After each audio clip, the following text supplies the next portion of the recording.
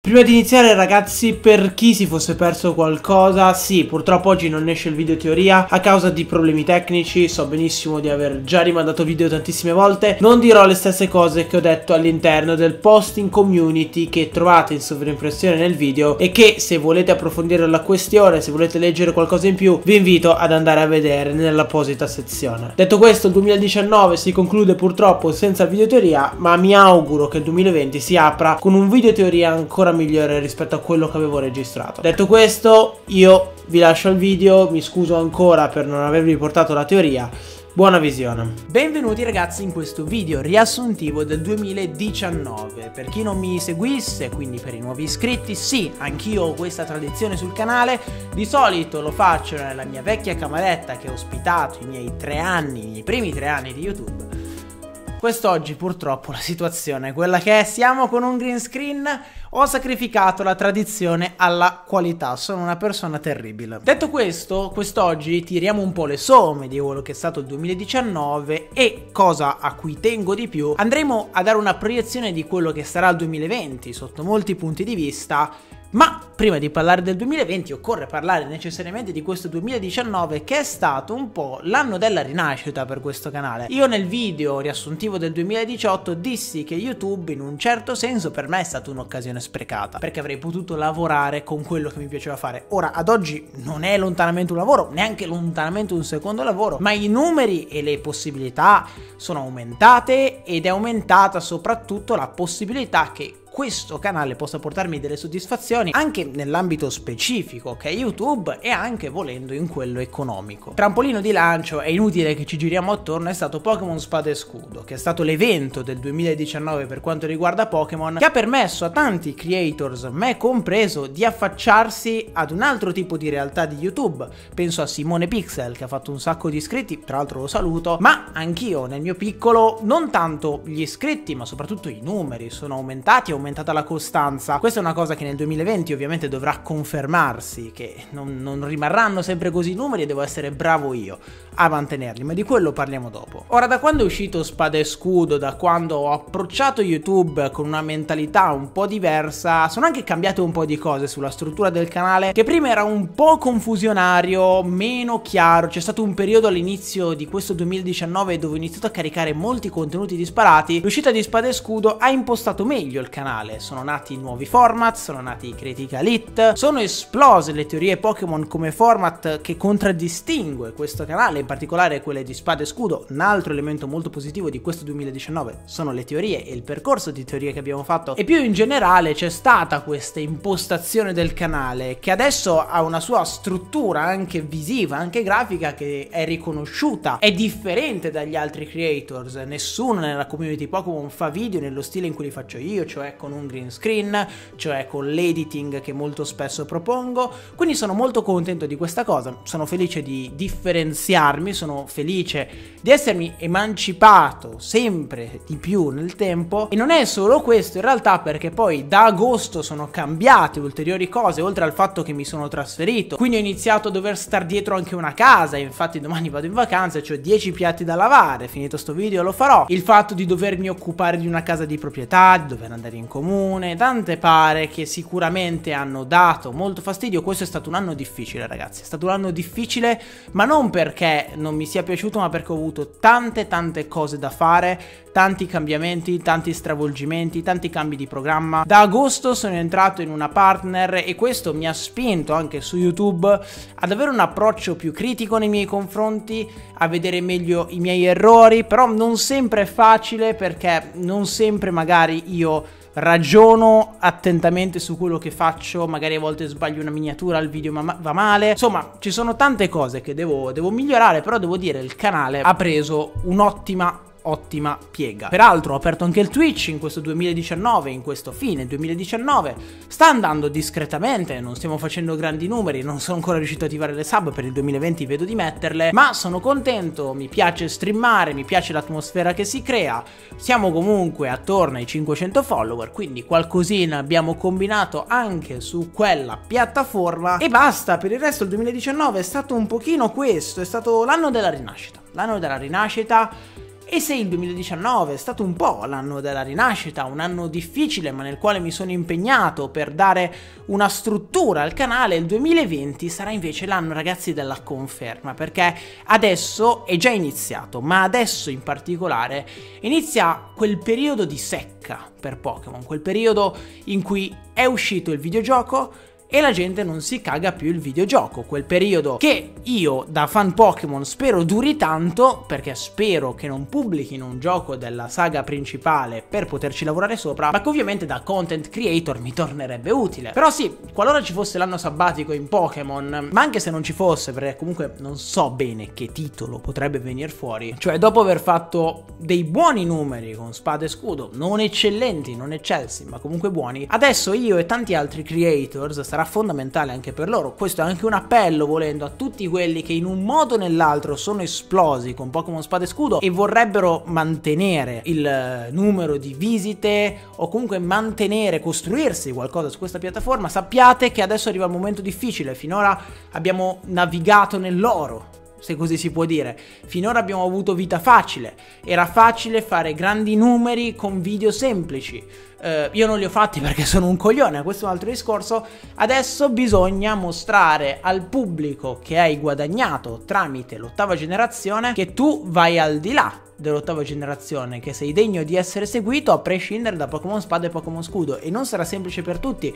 Tanti canali ho visto morire così, tanti canali hanno iniziato a esplodere, poi lentamente si sono affievoliti perché magari nel tempo non che non abbiano una personalità, ma magari non l'hanno coltivato abbastanza. Ecco, il 2020 sarà questo tipo di anno per me, l'anno in cui sicuramente avrò un calo perché i cali sono fisiologici su YouTube, soprattutto quando porti Pokémon e Pokémon non è un brand che ti permette di fare video ogni giorno su una novità questo è indubbio, soprattutto se ti limiti come me al videogioco. E per questo 2020 io ce li ho qui, ho pensato a molti format per fare ciò, ho pensato a tanti nuovi contenuti fatti appositamente per cercare di darmi un tono, per cercare di convincere le persone che si sono iscritte a rimanere nonostante magari l'interesse per il brand in sé possa calare fisiologicamente e ve li espongo. Ve li espongo con molta calma adesso li, li, li, leggo un attimo. Mi sono accorto negli ultimi tempi che per quanto i miei contenuti sul canale siano diversificati, molto spesso hanno circa la stessa struttura, cioè sono io che prendo dei dati e che ci costruisco sopra un ragionamento. Quindi è la parte razionale di me, è quella parte che costruisce comunque in un certo senso una teoria, anche un critical hit, se vogliamo, è una teoria una teoria morale, una teoria psicologica della community, ma resta pur sempre una teoria sotto un certo punto di vista. Dal 2020 io voglio portare su questo canale anche un lato di me che molto spesso fatico a tirar fuori per miei limiti che è il lato creativo. Lato creativo che significa eh, viaggiare di fantasia, non per forza fare teoria quindi per forza rimanere serrato nella logica, ma provare anche a fare qualcosa di diverso. È uno dei format che ho in mente da tanto tempo e che ho quasi inculato a The Birdkeeper Toby, che tra l'altro vi invito a seguire perché è molto bravo, l'ho intitolato Let's Fix. Let's Fix che vuol dire sistemiamolo in inglese e che è una serie volta a prendere alcuni elementi della lore Pokémon, alcuni Pokémon che sono stati trattati male e ce n'è a bizzeffe e crearci attorno in maniera totalmente fantastica, quindi senza stare lì a prendere dati, a fare teorie, una lore, degli eventi nuovi, qualcosa che ci sarebbe potuto essere ma che invece non c'è. Accanto a questo format ne ho un altro estremamente creativo in realtà, che sono i what if personali. Questi ce li ho in mente da un sacco di tempo e ho pensato, anche questa è inculata più o meno a The Birdkeeper Toby, ma sempre con le mie varianti, sono serie simili che lui ha portato che io ho visto e ho detto cavolo questa qua portata così come la dico io migliorando questa idea ci sta. Io vi linko il canale in descrizione così sono una persona corretta. What if nei quali ho pensato avesse senso trasporre la mia persona all'interno di un videogioco Pokémon. Cioè, il ragionamento è stato, se io fossi un personaggio di un videogioco Pokémon, come sarei? Perché è ovvio che cambierei in un certo senso. Quindi, se fossi un capopalestra, se ricoprissi il ruolo di capopalestra, quale sarebbe la mia caratterizzazione? Qual è la mia lore? Fossi un campione, idem. Fossi un boss malvagio, questo probabilmente sarà il primo perché ce l'ho già in mente ed è bellissimo. Come sarei? Come mi atteggerei? Quale sarebbe il mio obiettivo in Pokémon? E qualcosa di interessante interessante, questo format ha una difficoltà sostanziale che sono i miei limiti grafici, cioè io vorrei disegnarvi le cose, ma vi giuro sono impedito, ma davvero tanto impedito. E quindi avrò bisogno del supporto di qualcuno che sarà Simone Pixel forse, magari collaboreremo su questa cosa, non lo sappiamo ancora, perché il progetto va un po' rilento essendo che comunque Spada e Scudo ci hanno sottratto a tante altre cose e i numeri hanno richiesto altri contenuti. E ho deciso, mi sono detto, ah, nel 2020 facciamo questa cosa qua. Poi ci sono altre tre cose che vorrei portare su questo canale, due sono delle serie abbastanza classiche, adesso ve le spiego, e l'altra è il competitivo.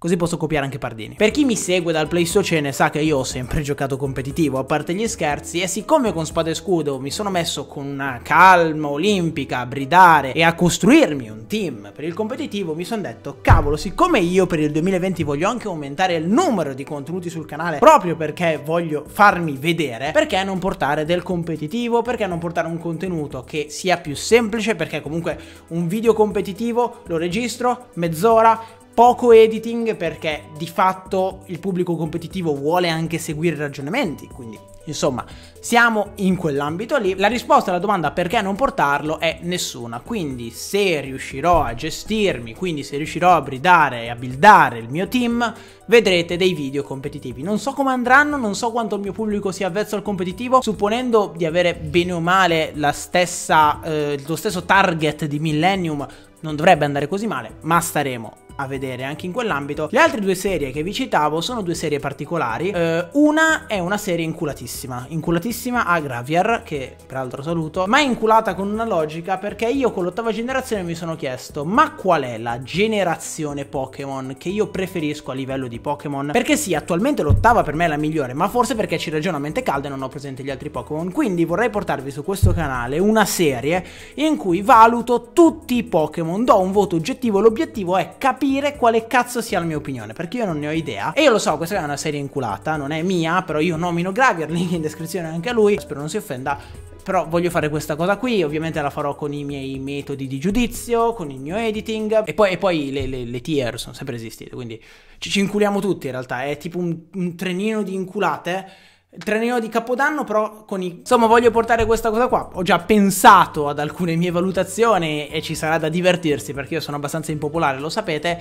L'ultima cosa che mi è venuta in mente, e ovviamente ragazzi, sono cose che mi stanno venendo in mente adesso, ma poi nel 2020 chissà quante altre idee avrò, è quella di proporvi una sorta di QA alla vecchia maniera, però interamente dedicato alla lore Pokémon, con video intitolati tipo rispondo a 20 domande sulla lore Pokémon, in cui voi, magari in community, magari su Instagram, non lo so ancora, mi fate delle domande effettive sulla lore Pokémon, magari delle curiosità che avete, o magari mi esponete brevemente, possibilmente una vostra teoria, e la commentiamo in un video in cui rispondo. Perché? Perché molte volte nelle mie teorie, questa cosa succede anche, è successa con l'ultima, su alcune cose devo glissare, perché magari non c'è tempo, perché magari non stanno bene in quel contesto lì, non sta bene citarle, però ci sarebbe molto da discutere su alcune chicchette e quindi anche questa serie è una serie che vorrei portare. Per il resto, per questo 2020, quali sono i miei obiettivi? Su YouTube il mio obiettivo è proseguire così, aumentare la qualità tecnico-grafica comprando una nuova telecamera,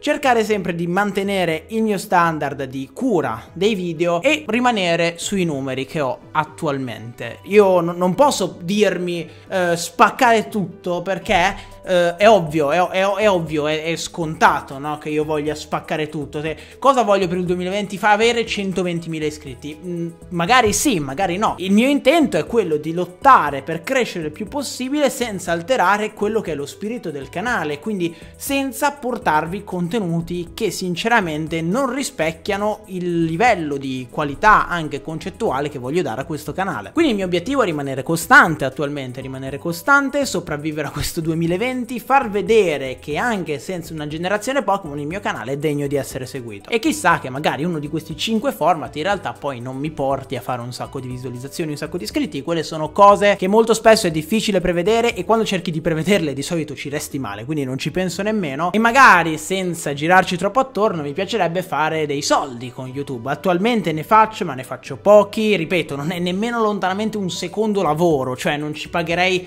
eh, internet. Oddio, forse Bah, insomma, vorrei racimolare qualche spicciolo da questa attività, da questa attività, da Twitch, quindi vorrei mettere le sub. Insomma, anche il lato economico vuole la sua parte, soprattutto quando vivi da solo e i tuoi genitori, non tu, hanno fatto un investimento importante per permettertelo. E quindi poter eh, farmi un centinaio di euro, la butto lì, facendo quello che mi piace, coltivando una mia passione, coltivando dei rapporti personali, sarebbe per quanto mi riguarda una gran cosa. Obiettivi personali, obiettivi non dello youtuber ma di Giovanni, proseguire con l'università, proseguire con gli studi, trovare più tempo per gli studi perché quest'anno è stato davvero difficile, soprattutto questa quest'ultima parte è stata veramente intensa, soprattutto di corsi universitari. E poi portando avanti anche YouTube non ho mai trovato il tempo di studiare per conto mio qualcosa, quindi è stato molto difficile. E come ultima cosa, eh, parlando, rimanendo sulla scia del video che ho caricato martedì 17 7 dicembre voglio limare un po' quelli che sono i miei difetti caratteriali, voglio cercare di essere più propositivo con le altre persone, vorrei portarvi delle collaborazioni su questo canale e vorrei chiedere delle collaborazioni, ma in generale questo è un progetto di vita, fra virgolette, più ampio perché vorrei davvero essere più propositivo con le persone, essere più propositivo con i miei amici e in generale limare tutti quelli che sono i miei difetti, che credo sia il proposito più sensato da farsi per un 2020, perché in realtà quello che ti dovresti proporre è di cambiare te stesso, tu ti devi proporre una cosa ma devi saperla realizzare. Se ti proponi di andare in palestra e poi il tuo cervello dice di no, non basta obbligarti, tu devi proporti di cambiare mentalità. Ed è quello che un po' voglio fare anch'io. No, aspettate, io mi sono dimenticato una cosa, perché Gio97, Gio Fei, ormai c'è 10 nomi quell'uomo, mi ha consigliato una cosa molto figa e che farò alla fine video, così almeno scoprirò nei commenti chi sono i veri fan. Eh, voglio fare una top e una flop dei miei video su questo canale nel 2019. Però siccome non ho tempo e ho sonno, farò una top 1 e una flop 1 di video. Partiamo dalla flop, io la flop la so benissimo, è il video in cui sono andato a prendere tipo zero la torellotta. Non che sia un video brutto, però non è un video che rifarei, non è un video che farei in quel modo, perché non è stato un mio video e purtroppo un esperimento che ho voluto fare. Finito l'esperimento mi sono accorto benissimo che quel contenuto non mi rispecchiasse, però avendo perso il C del tempo l'ho caricato, tra l'altro poi è andato anche abbastanza bene nel tempo. Quello penso sia il video peggiore del 2019 perché è proprio un video che non mi rispecchia, è un video fuori da, da, dalla struttura del canale. Invece il top video, anche per una questione di quanto stracazzo di tempo ci ho speso sopra, ci sarebbero tantissime honorable mention da fare, ma l'ultima teoria, non l'ultima, questa, l'ultima prima di Spada e Scudo. Quello è stato un video bellissimo, eh, non c'è un errore di editing, la teoria regge, poi si è confermata, ho sparato un paio di cazzate, però eh, poi dopo le, le sistemeremo nel tempo e soprattutto anche per una questione di video lunghissimo, progetto infinito, copione cataclismatico. Sono cose che premio, quindi quella è la mia top. Voi nei commenti scrivetemi per voi qual è stato il video migliore di questo canale e qual è stato il video peggiore. Non fate le merde e non dite nessuno perché sei il migliore. Voglio sapere in questo periodo qual è stato il mio video che vi è piaciuto di meno, che vi ha lasciato più indispettiti. Cazzo, non fate i paraculo. Buon 2020.